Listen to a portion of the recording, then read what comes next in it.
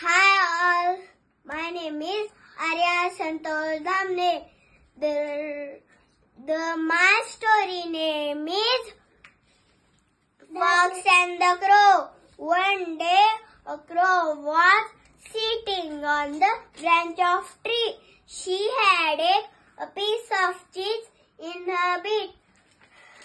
The fox was passing by. He saw the crow with the cheese. The mouth started watering. He thought of a plan. He said to the crow, Madam Crow, you have such a sweet voice. Can you sing a song for me? The silly crow opened her mouth and started singing, Cow, cow, cow. The cheese fell down from the crow's beak. Fox took the cheese and, and walked away happily.